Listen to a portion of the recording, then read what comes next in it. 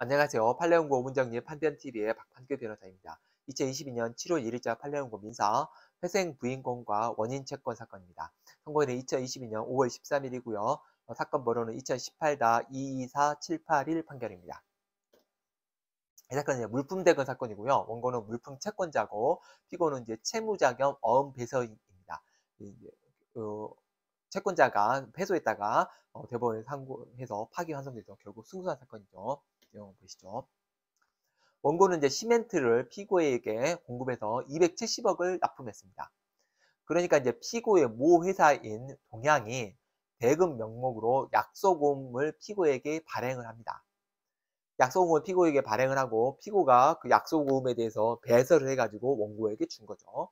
그러니까 약소금의 발행은 어, 동양이 했고 피고는 배설만 한 거죠. 배설해서 넘겨준 겁니다. 근데 동양이 회생 결제가 개시되면서 개시 후 말기 도래하는 어음금 110억 원이 남게 된 겁니다. 원고는 동양이 발행한 별개의 약서금 5장, 그 중에 3장은 피고가 이제 배설을 했었는데 거기에 대해서 만기 도래 전에 76억 원을 동양으로도 받게 됩니다. 그러니까 이제 별개의 약속금은 76억 원을 이제 받아가지고 받아서 동양의 관리인이 야, 너 만기 도래전 이거 지금 76억 원 갚은 거 이거 부인권 행사한다. 이렇게 돼서 부인권 행사하는 거죠. 이 부인권이라는 거는 이제 이렇습니다. 통상적으로 채권자 취소권이라는 게 있는데 채권자 취소권은 그 채권자가 그러니까, 그러니까 채무자가 있는데 채무자가 있는데 어떤 특정한 채, 채, 채권자에게만 어 그 변제할 경우 혹은 뭐뭐 뭐 아니면 이거를 갖다가 다른 채권자를 해야 할 목적으로 매, 매도하거나 또 변제하거나 이럴 경우에 그거 효력을 부인하는 겁니다. 부인하는 게 이제 채권자 취소권인데 그 채무 회생에 있어서의 부인권이라는 거는 유사합니다. 유사하고 다만 다른 거는 해야 할 목적이 없어도 행사할 수 있습니다. 그러니까 공평 다른 채권자에 공평하게 채무를 채무를 지금 채권을 받아가야 되는데 특정한 누구에게만 먼저 받아가면 부인권 행사에서 다 그 무효로 만들 수 있어요.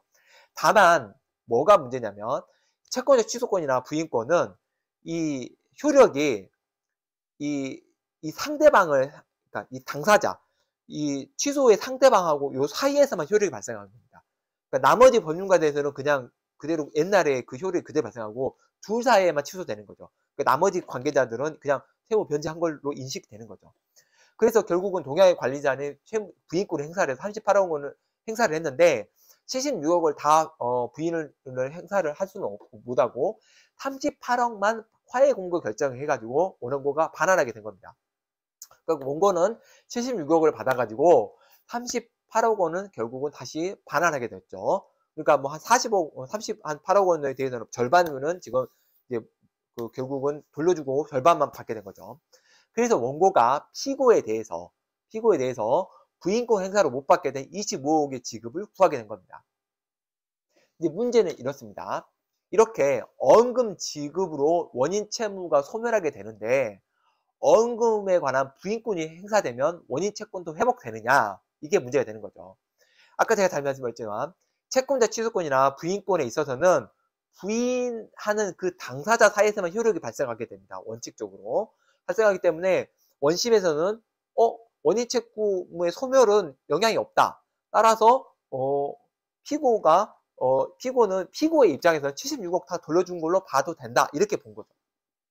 대법원은 뭐라고 하냐면 예, 부인권 행사 시 원인 채권 현상 회복은 채권 그 자체와 그 소멸로 해서 함께했던 보증 채권 등 다른 채권도 모두 포함된다.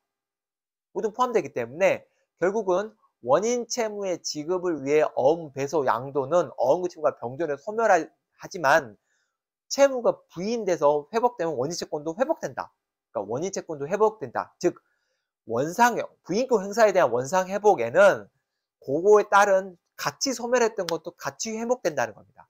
따라서 이거는 이 원인 채무는 어 이 그러니까 원래 부인됐던 행사의 그 전제로 해서 됐다는 별도의 법률 관계가 아니라 요 변제로 해서 소멸하는 동시에 하나의 소멸로 해서 함께 소멸한 거기 때문에 회복도 함께 회복한다. 이렇게 본 거죠.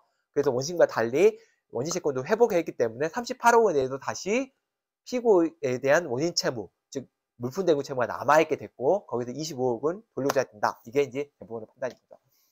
그러니까 부인권은 채권, 채무권자 취소권과 유사한데 그 행사의 범위에 관해서 지금 이 판례가 원심과 달라진 부분입니다. 행사 여건은 다르고 악의도 불필요한 게 이제 아까 말한 제가 설명한 것처럼 채권 해석권과 취소권과 다른 부분인데 부인권 회복 시 과연 어원금 채무에 대한 부인권을 행사할 경우에 원인 채무도 회복하느냐 여기에 대해서 대법원이 회복한다 이렇게 되온 거죠. 그래서 요거는 그런 회복한다라는 대법원 판례의 내용을 기억하시면 좋을 것 같습니다. 이상 마치겠습니다. 감사합니다.